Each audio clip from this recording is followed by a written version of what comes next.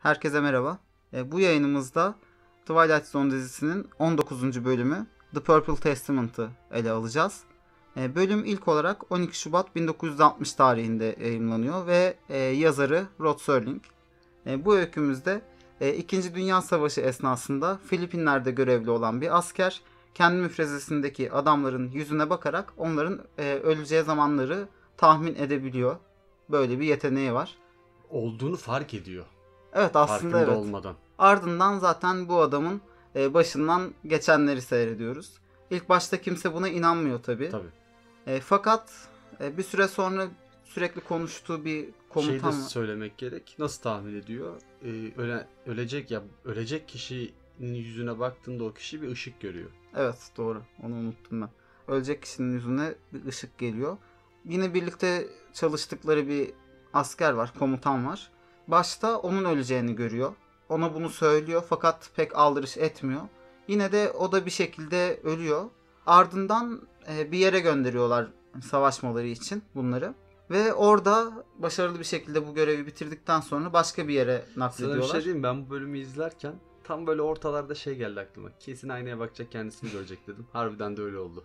O belli değil miydi zaten onun Ya olacağı biraz? belli hemen tahmin edebiliyorsun. Biraz da böyle artık aşinaysan e, Twilight'ın o algoritmasına. direkt belli eden bir bölümdü. Ya zaten ana karakter genelde hani onu yaşıyor. Hani bir olay varsa dönen. Bunları bir yere e, gönderiyorlardı.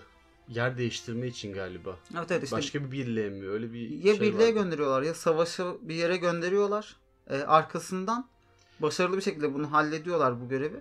Tekrardan başka bir yere giderken kendisi yani araba mı patlıyor bir şey oluyordu kendisi de ölüyor öyle bir şey yani vardı şey var sanki. bilmeden önce aynaya bakıyor kendi yüzünde ışık görüyor sonra yanında şoförüne bakıyor yine onda ışık görüyor tamam diyor yüksek olasılık diyor fark yani bir yere gidiyoruz ama diyor son olmayacak. Evet. Ya öyle Ondan bir şey sonra var. mayın patlaması ya da bombayla vuruyorlardır arabayı. O şekilde hani yaşamları son buluyor.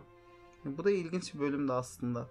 Yine. Yani aslında altıncı göz işte sezgi konuları biraz da. Bazen oluyor ya insanlarda da hissedebiliyorsun ya bu tarz şeyleri. Bilmiyorum hiç hisset böyle o sezgiyi harekete geçirdiğin oldu mu? Benim çok olmadı da. Yani dizinin yine önceki bölümlerinde e, şey vardı ya ihtiyacı olan e, şeyi gösteriyordu yaşlı adam. Onun bir öngörüsü vardı. Geleceği Evet, tek olasılıkları bölümü, biliyordu. evet. Evet. What. Ona biraz benzettim. Adamın da ona yakın bir özelliği var aslında baktığımız zaman. Abi bir tek ama ölümü görüyor yani. Hiç çok ayrı değil mi onlar? Bak. Özellik olarak ayrı tabii ama ya, ihtiyaç sonuçta birisinde hayatını devam ettirebileceği ihtiyaçları veriyor. Tam bazen işte tam tersi değil mi? tam tersi ya ye- yetenek olarak ikisi ayrı kutuplarda olduğunu düşünüyorum. Yani onun amacı ya temel olarak hayata devam ederken sahip oldum. Bunda direkt hayatı sonlandıracağını bilen bir adam var karşında. Ay, şey olarak aynı. Yine değişik bir güç var. Özel bir yetenek. Ya ben ondan bahsediyorum yani daha çok. Ya bana benzer geldi hani. İşte hani O açıdan. özel yetenek anlamında evet açıklayam açıklanamayan bilimle. Bu arada şöyle bir şey de var. Rod Serling Filipinlerin kurtuluşu döneminde Filipinler'de görev yapmış sanırım. Ardından yine bu bölümde oradan esinlenerek bir set oluşturuyor. Evet olabilir. Kendi hayatından çok E, fazla tabii ki tabii ki. şey kullanmış hani dizi boyunca da. Filipinler tabii 1942 ya 42 idi yanlış hatırlamıyorsam ya Hı hı. 42 ya 43 e, Japonya tarafından ilk işgal ediliyor. Daha sonra o tabii bundan önce de Batılılar tarafından işgal halinde. Sonra da tekrardan herhalde Amerika'nın sömürgesi oluyordu galiba. Yanlış da hatırlıyor olabilirim.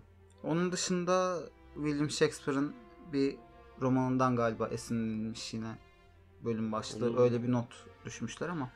Şey var Shakespeare'ın hani e, bir şiirinden falan belki almış Hı olabilirler. Testament falan geçiyor. Evet. Hatırlayamadım şimdi. İlginç bölüm. Ya ilginç mi dersin? Alışkın olduğumuz bölümlerden artık. Değil mi? Evet bir süre sonra Çok böyle bir şey uyandırmıyor. Ya. Zaten 10. dakikada sen diyorsun yani kesin aynada kendini görecek. Hadi. Tahmin edilebilir. Liği yüksek. Ya bu bölümde de çok fazla ekleyeceğimiz bir şey yok benim açımdan. Ben de hani çok fazla bir şey e, ekleyemeyeceğim şu an için. Bir tek e, şöyle bir şey söylenmiş. Bu e, ana karakter Fitzgerald için e, başka bir oyuncu düşünülmüş başlarda. Fakat oyuncunun sanırım çalışma saatleri falan uymadığı için e, oynatamamışlar.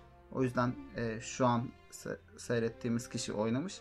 Fakat e, teklif edilen kişi dizinin ileriki sezonlarında çok benzer bir bölümde oynamış. Yani bir şekilde kullanmışlar yani o oyuncuyu. Evet zaten Rod Serling ekibiyle kendi seçiyor galiba tiyatrocuları da. Hani hikayesine uygun kişileri falan seçiyor olabilir gerçekten. ya çok emek vermiş adam yani bütün gönlüyle yapmış bu Evet. seriyi. Bu güzel hikayeler var daha devam edecek. O gelecek bölüm var şimdi esas hali. Evet o, Ben çok seviyorum gelecek bölümü. o yani bayağı böyle ilginç. 20. bölüm. O zaman biz bu yayını bir kapatalım. Seninle şöyle bir 20. bölüm için bir hazırlık yapalım. İzledik Aynen. zaten. O zaman gelecek bölümde görüşmek üzere. Hoşçakalın. Hoşçakalın.